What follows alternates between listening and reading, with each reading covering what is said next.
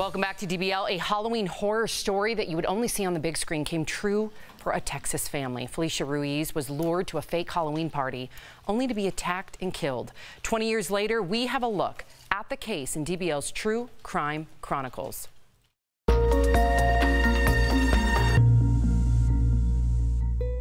Just 17 years old, Felicia Ruiz had her whole life ahead of her. She was a good student. She, she was always home on time. It was October 1999. Felicia was approached by one of the largest and oldest Hispanic street gangs. She just flat told us they were trying to get her to join the Latin Kings. In fear, her parents pulled her out of high school. However, Felicia still kept in touch with her friends and was invited to a Halloween party. You could see she was kind of excited, and she, she, she finally let it out. She says, "Dad, can I go to a party?" Her protective parents were hesitant, but they said yes, a decision that will later haunt them. She said, "I love you, Mom," and I said, "I love you too, Mommy." And she got in the car and drove off into the night, and that was the last time we saw her alive. An open field near a vacant lot, perfect for a Halloween party. But when Felicia got here, there was no party. It was all part of a sick plan. Felicia was attacked by three people and stabbed to death. I mean, I can't imagine her laying out here that long. Nobody to help her. And she laid there, and I don't know, they said it took like seven minutes for her to bleed out. Police caught two of the three suspects, Jay Farrell and Lisa Huerta. They're in jail, but pin the blame on Jesus Salazar.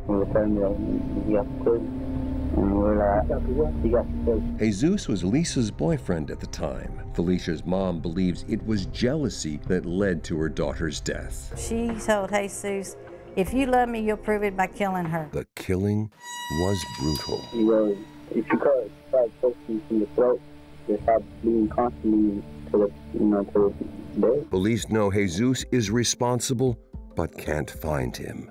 I can tell you where he isn't.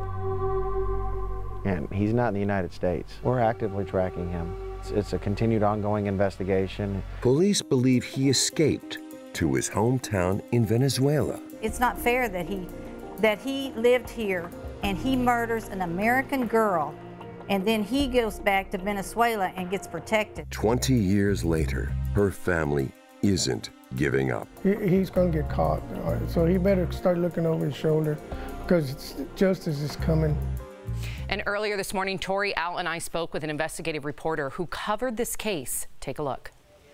We are joined now by reporter Grace White at our sister station, KHOU in Houston.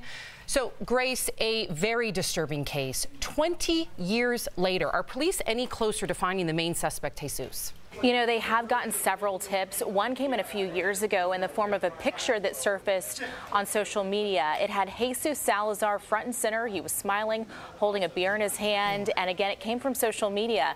Investigators have said throughout their uh, work on this case, they had two jobs. One was to locate him, one was to arrest him. So they feel like that picture, they've been able to locate him. And certainly now they're working to arrest him and bring this family justice.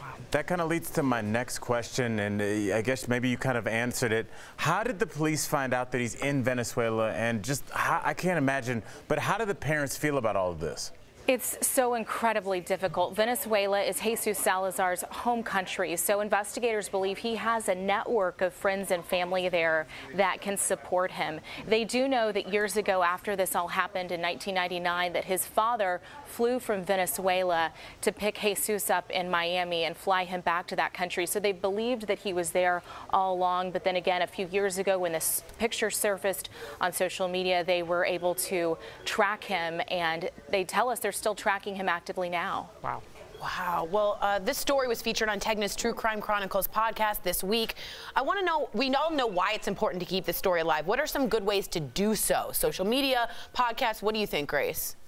Yeah, I think um, this mom is really my inspiration. She's never given up hope and fighting for justice for her daughter. She continues to talk to, to reporters across the country. And I think social media, uh, knowing that that tip a few years ago, the biggest break in the case came from a viewer, came from social media. Wow. I think that is the biggest thing we can all do. And I'll never forget what this mom told me. She said, Grace, this was the last thing I said to my daughter before she closed the casket at her funeral. She said, I promised her I would find justice and find the people who did this to my daughter. Wow, Grace, I have chills. Uh, that statement is uh, every parent's worst nightmare, and she too is my inspiration, and we pray Absolutely. that she gets justice. Thank you so much, Grace. If you want to read more on this case, go to khou.com and to listen to the podcast, search True Crime Chronicles on the Stitcher app or your favorite podcast player.